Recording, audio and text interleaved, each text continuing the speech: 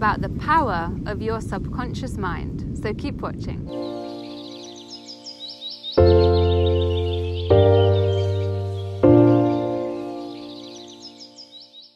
So, the subconscious mind controls over 85% of all of our thoughts, beliefs, and feelings.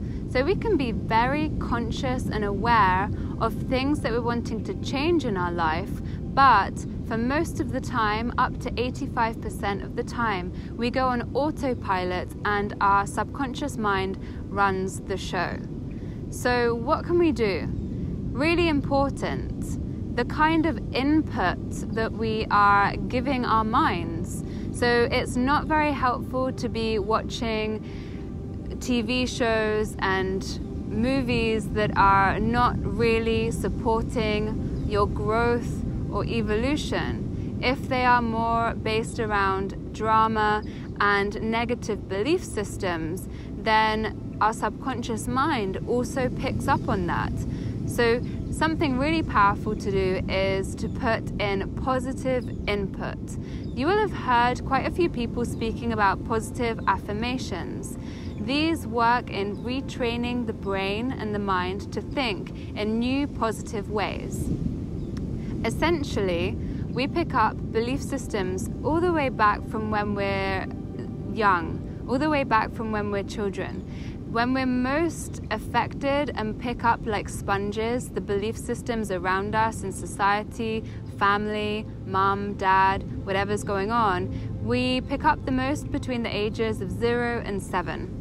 Then that becomes like our main programs. So even though we evolve, those are our, our main programming, and we continue to repeat these patterns quite often in our life. The thing is that we can change the ones that don't really help us and also put more attention on the belief systems that do help us. Again, we can do this by positive affirmations and by putting in positive input. So the thing is, we don't stop learning in school. We often think that, but in our daily life, we're picking up information. We're learning from the people around us, from our environments, from our jobs. Whatever we're doing, we're taking in information. And so we're able to also take in positive information that's going to help us evolve and grow and start to override with time the past belief systems that no longer serve us. So, this is why, if you're wanting to evolve into your greatest version or you're wanting to achieve a goal that's really important to you, it's really helpful to connect with people that have already done it.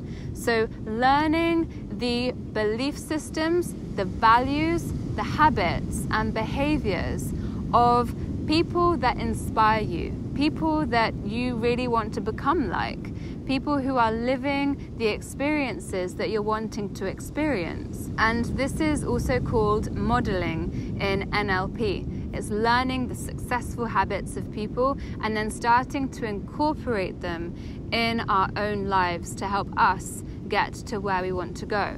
And that is a really powerful way of mindfully starting to retrain the subconscious mind to serve you rather than to take you in a direction that's not really helping you.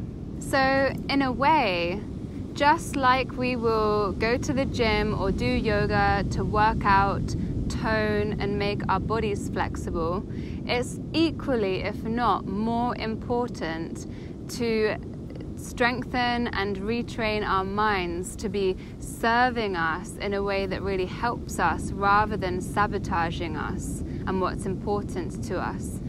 So it's also important to incorporate habits that are positive and going to get us in the direction that we're wanting to go. If we just continue to repeat the same thinking patterns, the same belief systems, and the same habits that have not helped us create that change, then we're entering into a predictable future. Whereas we have the power to help our subconscious mind and to incorporate new habits that are going to get us there and to be able to follow those And the subconscious mind, once we put that input in there, it then puts those behaviors, those belief systems on autopilot. That's the beauty of it. So then you're moving in that direction without having to consciously always think about it once that habit has been installed as new software. So, that is the power of your subconscious mind and how to use it to move forwards in the direction that you're wanting to go in. So, if you are interested in learning about one of the most powerful techniques to start reprogramming the subconscious mind in positive ways to serve you, jump over to my website to read about Theta Healing. I've included the link in the description. If you enjoyed this video, you can click subscribe and the bell to receive notifications of future videos. If this was helpful for you, I'd love to hear from you. You can just comment below. And if you would like to keep up to date and have a look behind the scenes of creating these videos and all the other things that I do, head over to my Instagram page and you'll be able to find lots of insights there. Until next time, have a beautiful, beautiful day.